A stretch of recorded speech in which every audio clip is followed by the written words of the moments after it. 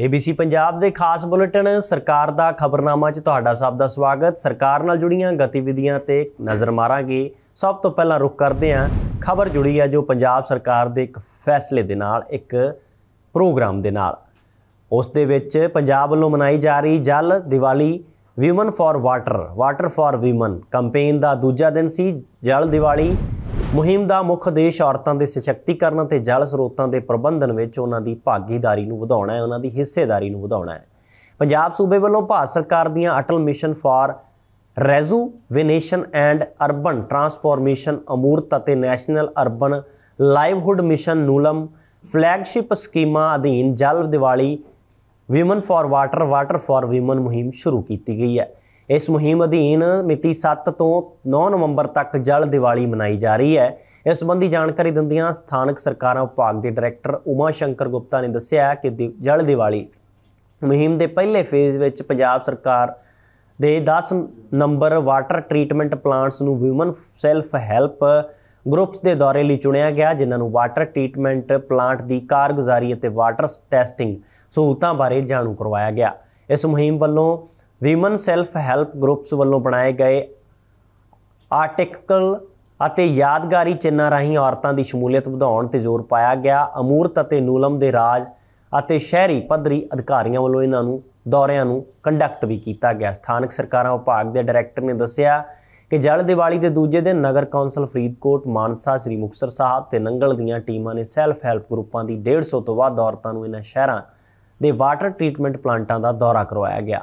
Nodal ਅਫਸਰਾਂ ਦੇ ਪਾਣੀ ਨੂੰ ਸ਼ੁੱਧ ਕਰਨ ਦੀ ਪ੍ਰਕਿਰਿਆ ਤੇ ਕਾਰਜਵਿਧੀ ਬਾਰੇ ਦੱਸਿਆ। ਮੁਲਾਕਾਤ ਕਰਨ ਵਾਲੀਆਂ ਔਰਤਾਂ ਨੂੰ ਪਾਣੀ ਦੀ ਗੁਣਵੱਤਾ ਦੀ ਜਾਂਚ ਕਰਨ ਦੇ ਪ੍ਰੋਟੋਕੋਲ ਬਾਰੇ ਵੀ ਜਾਣੂ ਕਰਵਾਇਆ ਗਿਆ।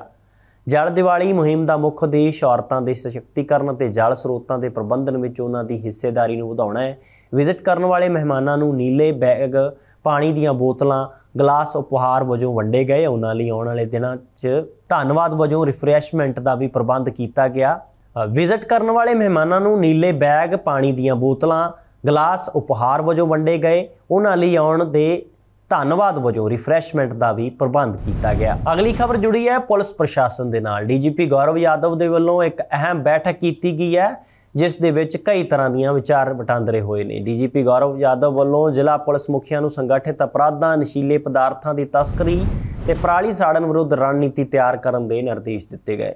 ਪਰਾਲੀ ਸਾੜਨ ਵਿਰੁੱਧ ਕਾਰਵਾਈ ਦੀ ਨਿਗਰਾਨੀ ਲਈ ਸਪੈਸ਼ਲ ਡੀਜੀਪੀ ਕਾਨੂੰਨ ਤੇ ਵਿਵਸਥਾ ਪੁਲਿਸ ਨੋਡਲ ਅਫਸਰ ਵਜੋਂ ਨਿਯੁਕਤ ਕੀਤੇ ਗਏ। ਪੰਜਾਬ ਪੁਲਿਸ ਮੁੱਖ ਮੰਤਰੀ ਭਗਵੰਤ ਮਾਨ ਦੀ ਸੋਚ ਅਨੁਸਾਰ ਚੱਲ ਰਹੇ ਤਿਉਹਾਰਾਂ ਦੇ ਸੀਜ਼ਨ ਦੌਰਾਨ ਸ਼ਾਂਤੀ ਅਤੇ ਸਦਭਾਵਨਾ ਨੂੰ ਯਕੀਨੀ ਬਣਾਉਣ ਲਈ ਵਚਨਬੱਧ ਹੈ।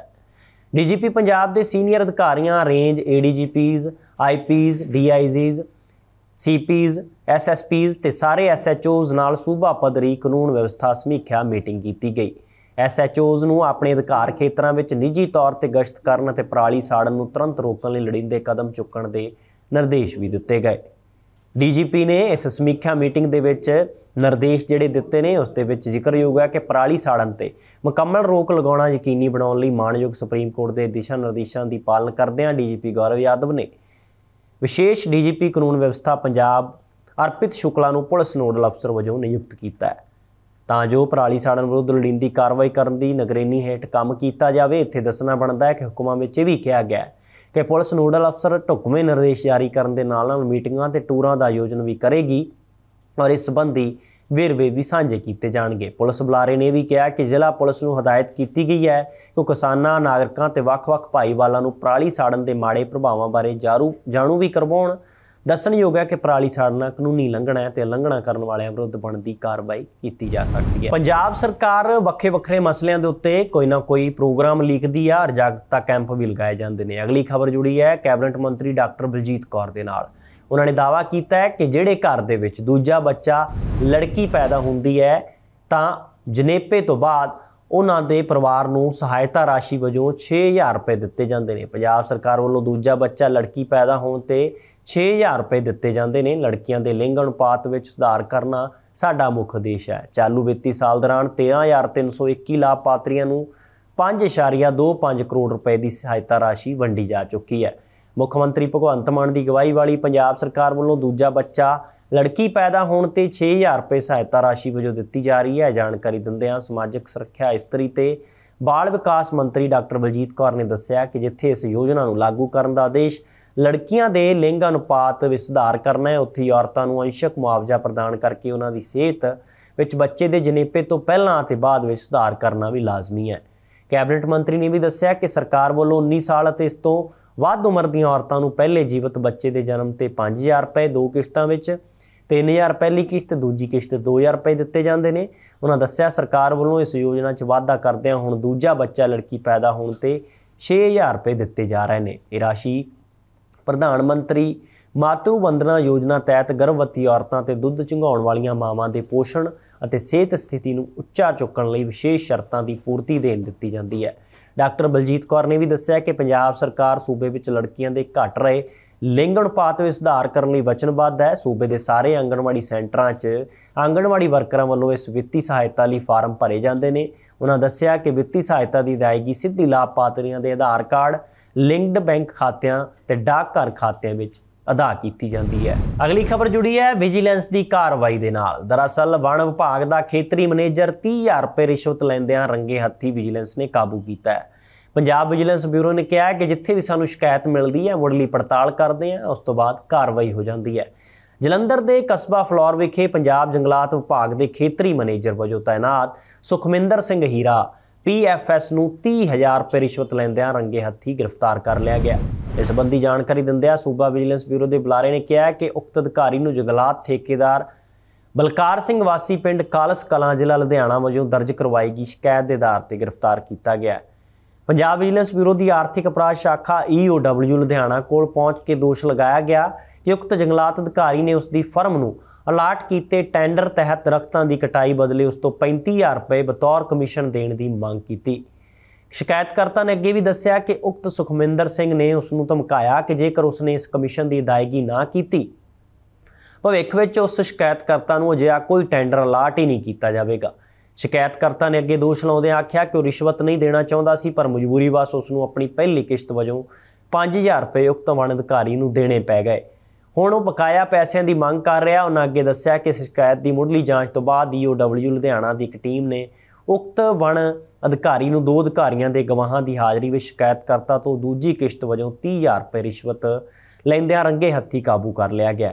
ਇਸ ਸੰਬੰਧੀ ਉਕਤ ਮੁਲਜ਼ਮ ਖਿਲਾਫ ਈਓਡਬਲਯੂ ਵਿਜੀਲੈਂਸ ਬਿਊਰੋ ਦੇ ਥਾਣਾ ਲੁਧਿਆਣਾ ਵਿਖੇ ਭ੍ਰਿਸ਼ਟਾਚਾਰ ਰੋਕੂ ਐਕਟ ਦੇ ਅਧੀਨ ਕਾਰਵਾਈ ਕਰ ਦਿੱਤੀ ਗਈ ਹੈ ਔਰ ਅਗਲੇਰੀ ਜਾਂਚ ਵੀ ਕੀਤੀ ਜਾ ਰਹੀ ਹੈ ਕਿ ਇਹ ਅਧਿਕਾਰੀ ਕੀ ਪਹਿਲਾਂ ਵੀ ਇਸੇ ਤਰ੍ਹਾਂ ਲੋਕਾਂ ਤੋਂ ਕੰਮ ਕਰਾਉਣ ਦੇ ਬਦਲੇ ਕਮਿਸ਼ਨ ਮੰਗਦਾ ਸੀ, ਪੈਸੇ ਲੈਂਦਾ ਸੀ, ਕਾਲੀ ਕਮਾਈ ਕਰਦਾ ਸੀ ਜਾਂ ਫਿਰ ਇਹ ਪਹਿਲਾ ਮਾਮਲਾ ਸੀ। ਪਰ ਮੋٹے ਰੂਪ 'ਚ ਦੇਖਿਆ ਜਾਵੇ ਤਾਂ ਜਿਹੜੇ ਅੜਿੱਕੇ ਚੜ੍ਹਦੇ ਨੇ ਰਿਸ਼ਵਤਖੋਰ ਪੁਲਿਸ ਅਧਿਕਾਰੀ ਹੋਣ ਮਾਲ ਮਹਿਕਮੇ ਦੇ ਅਧਿਕਾਰੀ ਹੋਣ ਜੰਗਲਾਤ ਮਹਿਕਮੇ ਦੇ, ਜੇ ਇੱਥੋਂ ਤੱਕ ਪੰਜਾਬ ਸਰਕਾਰ ਦੇ ਵਿੱਚ ਕੰਮ ਕਰਨ ਵਾਲੇ ਕਿਸੇ ਵੀ ਤਰ੍ਹਾਂ ਦੇ ਛੋਟੇ ਵੱਡੇ ਰੈਂਕ ਤੇ ਕੰਮ ਕਰ ਰਹੇ ਅਧਿਕਾਰੀ ਹੋਣ, ਜਦੋਂ ਕਾਬੂ ਆਉਂਦੇ ਨੇ ਤਾਂ ਉਸ ਤੋਂ ਪਹਿਲਾਂ ਵੀ ਉਹਨਾਂ ਦਾ ਰਿਕਾਰਡ ਜਦੋਂ ਫਰੋਲਿਆ ਜਾਂਦਾ ਤਾਂ ਕਾਫੀ ਲੰਮੀ ਲਿਸਟ ਨਿਕਲਦੀ ਹੈ, ਜਿਨ੍ਹਾਂ ਦੇ ਖਿਲਾਫ ਸ਼ਿਕਾਇਤਾਂ ਹੋਈਆਂ ਹੁੰਦੀਆਂ ਨੇ, ਪਰ ਕਈ ਵਾਰਾਂ ਕਾਰਵਾਈ ਨਹੀਂ ਹੋ ਪਾਉਂਦੀ। ਪਰ ਇਸ ਵਾਰ ਕਾਰਵਾਈ ਹੋਈ ਹੈ, ਤਾਂ ਇਹ ਵੀ ਮੁਲਜ਼ਮ ਹੈ ਜਿਹੜਾ ਇੱਕ ਮੁਲਾਜ਼ਮ, ਉਹ ਮੁਲਜ਼ਮ ਬਣ ਕੇ ਜਿਹੜਾ ਸਾਹਮਣੇ ਆ ਗਿਆ ਔਰ ਉਸ ਦੇ ਉੱਤੇ ਕਾਰਵਾਈ ਕੀਤੀ ਗਈ ਤੇ ਉਸ ਨੂੰ ਰੰਗੇ ਹੱਥੀ ਗ੍ਰਿਫਤਾਰ ਵੀ ਕਰ ਲਿਆ ਗਿਆ। ਅੱਜ ਵਿਜੀਲੈਂਸ ਨੇ ਇੱਕ ਹੋਰ ਕਾਰਵਾਈ ਕੀਤੀ ਸੀ, ਜਿਸ ਵਿੱਚ 8000 ਰੁਪਏ ਰਿਸ਼ਵਤ ਲੈਂਦਾ ਬਿਜਲੀ ਮੁਲਾਜ਼ਮ ਵਿਜੀਲੈਂਸ ਵੱਲੋਂ ਰੰਗੇ ਹੱਥੀ ਕਾਬੂ ਕੀਤਾ ਗਿਆ। ਦਰਅਸਲ ਪਟਿਆਲਾ ਦੇ ਵਿੱਚ ਇੱਕ ਜੇਈ ਵੀ ਉਸ ਦੇ ਨਾਲ ਮਿਲਿਆ ਹੋਇਆ ਸੀ ਉਸ ਦੇ ਖਿਲਾਫ ਵੀ ਪਰਚਾ ਦਰਜ ਹੋਇਆ ਹਾਲਾਂਕਿ ਜੇਈ ਦੀ ਹਾਲੇ ਗ੍ਰਿਫਤਾਰੀ ਨਹੀਂ ਹੋਈ, ਜੂਨੀਅਰ ਇੰਜੀਨੀਅਰ ਦੀ, ਪਰ ਇਸ ਮੁਲਾਜ਼ਮ ਨੂੰ ਗ੍ਰਿਫਤਾਰ ਕਰ ਲਿਆ ਗਿਆ ਹੈ। ਪੀਐਸਪੀਸੀਐਲ ਦੇ ਦਫ਼ਤਰ ਵਿੱਚ ਤਾਇਨਾਤ ਪਟਿਆਲਾ ਵਿਖੇ complaint handling boy CHB Kulwant Singh ਨੂੰ 8000 ਰੁਪਏ ਦੀ ਰਿਸ਼ਵਤ ਲੈਂਦਿਆਂ ਰੰਗੇ ਹੱਥੀ ਕਾਬੂ ਕੀਤਾ ਗਿਆ ਦਰਅਸਲ ਬਿਜਲੀ ਮੁਲਾਜ਼ਮ ਨੂੰ ਪਟਿਆਲਾ ਜ਼ਿਲ੍ਹੇ ਦੇ ਪਿੰਡ ਸੂਲਰ ਦੇ ਵਸਨੀਕ ਜਸਵੀਰ ਸਿੰਘ ਵੱਲੋਂ ਦਰਜ ਕਰਵਾਈ ਗਈ ਸ਼ਿਕਾਇਤ ਦੇ ਆਧਾਰ ਤੇ ਗ੍ਰਿਫਤਾਰ ਕੀਤਾ ਗਿਆ। ਸ਼ਿਕਾਇਤਕਰਤਾ ਨੇ ਵਿਜੀਲੈਂਸ ਬਿਊਰੋ ਪਟਿਆਲਾ ਰੇਂਜ ਕੋਲ ਪਹੁੰਚ ਕਰਕੇ ਦੋਸ਼ ਲਾਇਆ ਕਿ ਜੂਨੀਅਰ ਇੰਜੀਨੀਅਰ ਦਵਿੰਦਰ ਸਿੰਘ ਉਕਤ ਸੀਐਚਬੀ ਕੁਲਵੰਤ ਸਿੰਘ ਉਸ ਨੂੰ ਘਰੇਲੂ ਬਿਜਲੀ ਦਾ ਲੋਡ ਪ੍ਰਵਾਨਿਤ ਸੀਮਾ ਤੋਂ ਵੱਧ ਹੋਣ ਸੰਬੰਧੀ ਧਮਕਾ ਰਹੇ ਨੇ। ਇਸ ਸੰਬੰਧੀ ਇਸ ਕਰਕੇ ਧਮਕਾਇਆ ਜਾ ਰਿਹਾ ਹੈ ਔਰ ਜੁਰਮਾਨੇ ਤੋਂ ਬਚਣ ਲਈ 8000 ਰੁਪਏ ਦੀ ਰਿਸ਼ਵਤ ਮੰਗ ਕੀਤੀ ਜਾ ਰਹੀ ਹੈ। ਇਸ ਉਪਰੰਤ ਇਹ ਜਦੋਂ ਸ਼ਿਕਾਇਤ ਮਿਲਦੀ ਹੈ ਪਟਿਆਲਾ ਰੇਂਜ ਵਿਜੀਲੈਂਸ ਦਫ਼ਤਰ ਦੇ ਵਿੱਚ, ਤਾਂ ਫਿਰ ਪੜਤਾਲ ਮੁੱਢਲੀ ਕਰਦਿਆਂ ਹੋਇਆਂ ਸਰਕਾਰੀ ਗਵਾਹਾਂ ਦੀ ਹਾਜ਼ਰੀ ਵਿੱਚ 8000 ਰੁਪਏ ਰਿਸ਼ਵਤ ਲੈਂਦਿਆਂ ਰੰਗੇ ਹੱਥੀ ਕੁਲਵੰਤ ਸਿੰਘ ਮੁਲਜ਼ਮ ਨੂੰ ਗ੍ਰਿਫਤਾਰ ਕੀਤਾ ਗਿਆ। ਇਸ ਸੰਬੰਧੀ ਦਵਿੰਦਰ ਸਿੰਘ ਜੇਈ ਅਤੇ ਕੁਲਵੰਤ ਸਿੰਘ ਸੀਐਚਬੀ ਦੇ ਖਿਲਾਫ ਵਿਜੀਲੈਂਸ ਨੇ ਪਰਚਾ ਦਰਜ ਕੀਤਾ ਹੈ। ਹਾਲਾਂਕਿ ਜੇਈ ਦੀ ਗ੍ਰਿਫਤਾਰੀ ਹਾਲੇ ਹੋਣੀ ਬਾਕੀ ਹੈ, ਪਰ ਇਸ ਕੁਲਵੰਤ ਸਿੰਘ ਮੁਲਜ਼ਮ ਨੂੰ ਫੜ ਲਿਆ ਗਿਆ, ਜਿਸ ਨੇ 8000 ਰੁਪਏ ਰਿਸ਼ਵਤ ਲਈ ਸੀ। ABC ਪੰਜਾਬ ਦੇ ਖਾਸ ਬੁਲੇਟਿਨ, ਸਰਕਾਰ ਦਾ ਖਬਰਨਾਮਾ 'ਚ ਖਬਰਾਂ ਦਾ ਸਿਲਸਿਲਾ ਇੱਥੇ ਹੀ ਖਤਮ ਹੁੰਦਾ ਹੈ ਤੇ ਤੁਸੀਂ ਬਣੇ ਰਹੋ ABC ਪੰਜਾਬ ਦੇ ਨਾਲ।